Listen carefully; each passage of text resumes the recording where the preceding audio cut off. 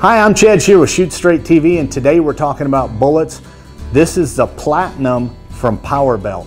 Now, this bullet comes in a variety of different weights that you can use out there, anywhere from the 270 grain all the way up to 338 grain. You say, Chad, what type of animals can I use it on?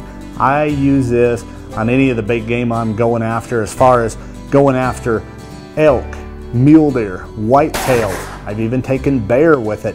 It's a hard hitting, bone breaking bullet that I really recommend. I like using it with a Magnum charge or 150 grains of powder.